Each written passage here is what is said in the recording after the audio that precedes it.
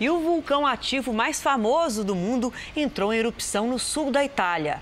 As lavas do Etna iluminaram a noite da Sicília.